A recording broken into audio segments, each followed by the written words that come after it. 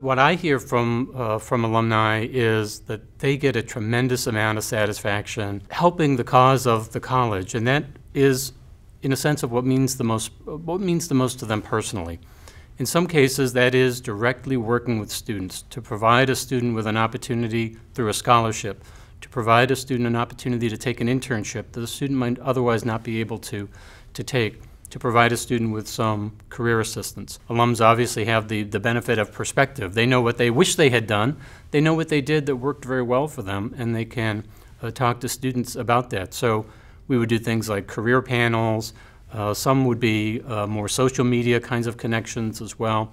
But these are chances for alumni and students to meet one to one, have a discussion, have a conversation, and for students to get a sense of you know, what can I do, what steps should I take, what opportunities are there for me. So there's lots of ways to plug in. What we do is we want to uh, take our inspiration from the inspiration of the alum. What does that alum want to do? What do they feel most passionate they could contribute to?